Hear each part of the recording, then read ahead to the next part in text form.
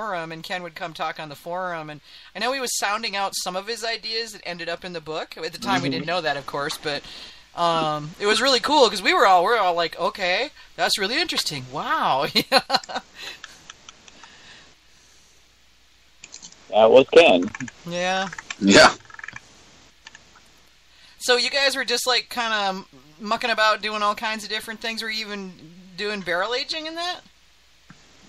Uh, somewhere along the way, way back when, and you know, I think it was, I don't remember, it was before Ken's book or right about that time. I know I'd worked with the local winery, and you know, I'd been pestering them for ages trying to get a couple used wine barrels because we'd already done a number of bourbon barrels for beer.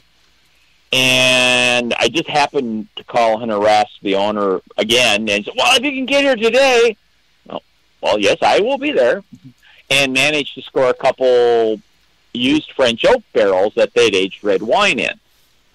And one of those sadly ended up getting, you know, some Belgian strong golden thing that was terrible in it and undrinkable when it came out because the recipe was so bad. But the other one, we put a braggot in, and that turned out, you know, we're talking like you know sack plus drink braggot, and you know, fairly high on the bitterness to you know stand up to time, and it I thought was a pretty good effort for the day.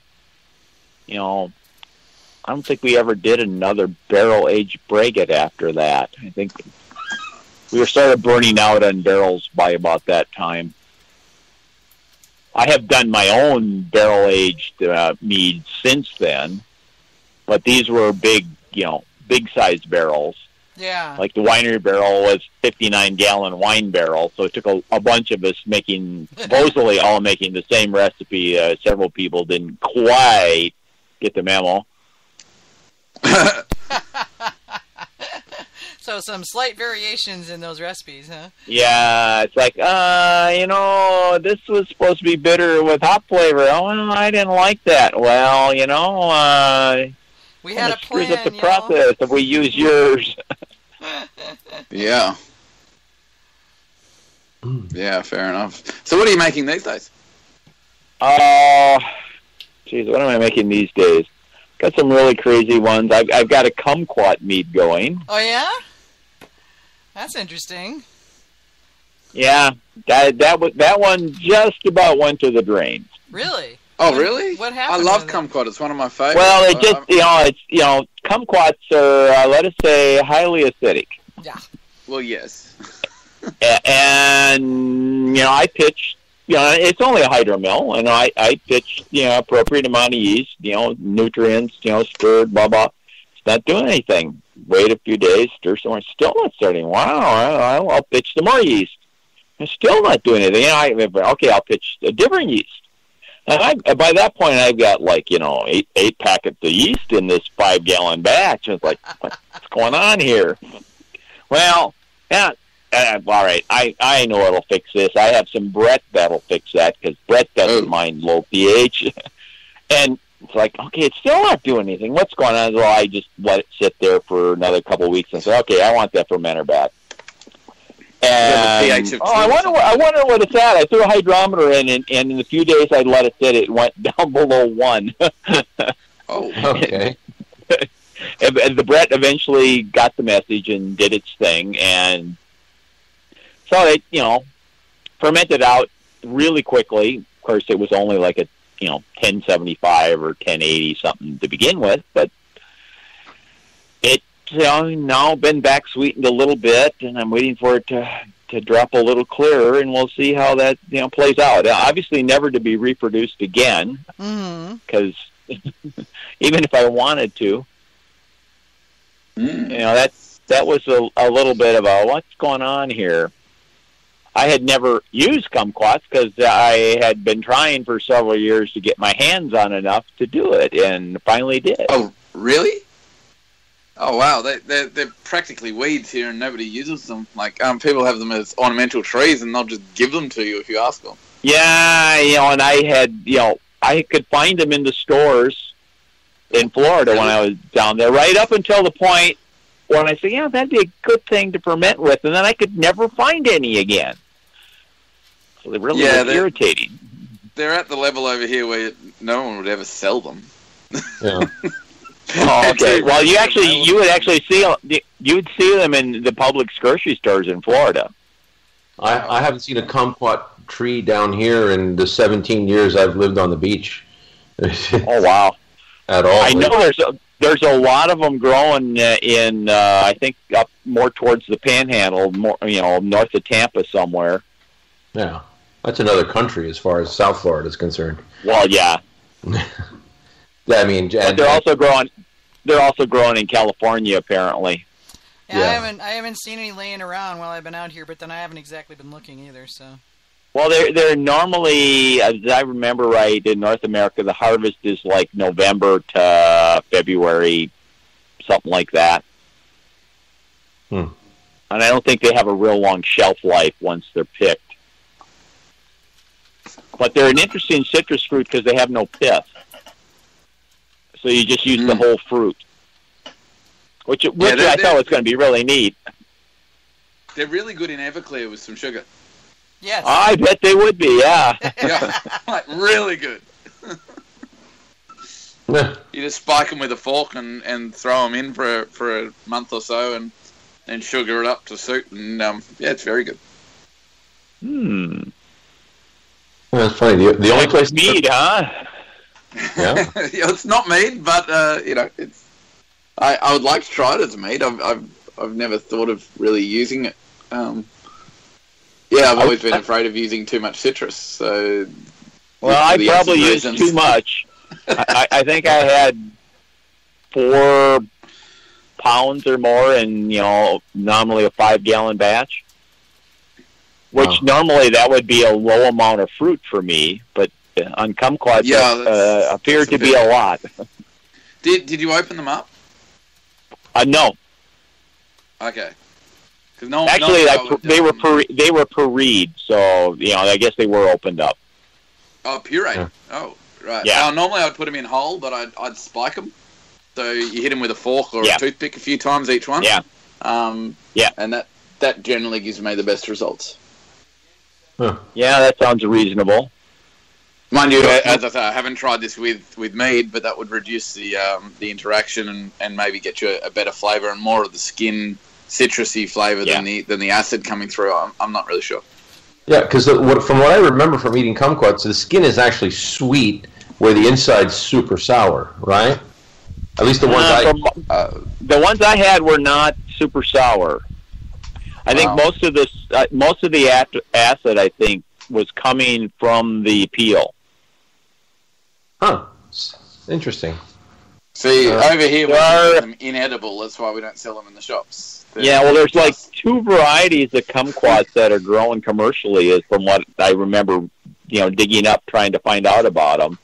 Mhm. One starts with an N. I forget the full name, but it's the more commonly grown one in North America.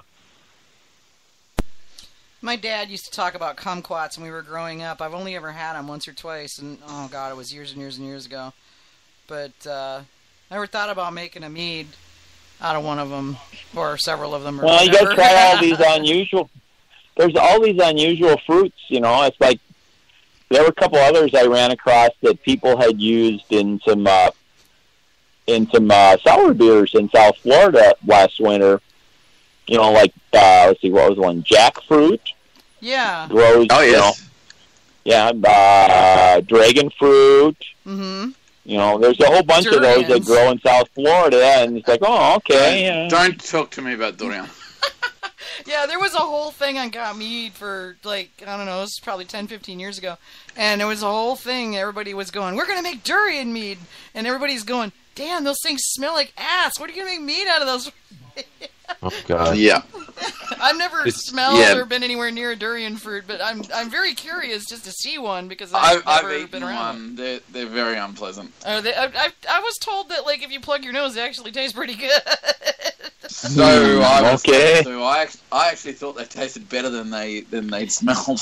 well, that's what I've heard. is Sorry, the other way around. Sorry, I, I thought they smelt. I Oh, thought they smelt better than they tasted, and I really offended people when I said that. Because I heard that I heard that I'm I'm gonna smell- go run out and get some of those right away. Oh, Yeah. yeah. Yeah. Supposedly the smell will make you gag. That I mean, it's like just just. Oh, awesome. good. Yeah. Yeah, they're in, just in Southeast Asia where they're grown, they're, they're, there's a there's a phrase that they say they um they taste like heaven but they smell like hell, and they're actually Okay. um, banned in on cruise ships, in hotels, and shopping centres and places like that because the smell gets into the air conditioning and gets circulated through everyone's room. And I they bet. actually have a ban. You're not allowed to take them into any accommodation centre, basically. Um, and, and yeah, so if you want them, you can eat them, but you got to be outside. Yeah, okay. Uh, now I had yeah, a, they're pretty feral. I had a I- I- pom- I had I- a pomegranate um, melomel that uh, that um, I got from Rabbit's Foot, and uh, it- he has it he has it on tap, and he pour, he, he set up a growler of it for me, and I was sharing it with my friends the other night. You want to talk about tart? Oh my gosh! yeah. It, it was I've, amazing. I've used that. I've done pomegranates a number of times. A lot of times with other fruits. There, it's kind of a nice, nice uh, fruit, I think, for meads. Well, yeah, this was. I mean, once you had to be ready for tart. I mean, and Mike told me this. He's like super tart. Before you try it, it's really tart. And I tried it, and I'm like, wow, Mike, this is really tart. And he's like, dude, I told you. And um, but we had it. Um, and I, when I was pouring it, we were eating. Um, we had gotten some Mediterranean, so we had lamb kebabs and hummus and flatbread and some grape leaves. Mm, yum. Yeah, it was really good.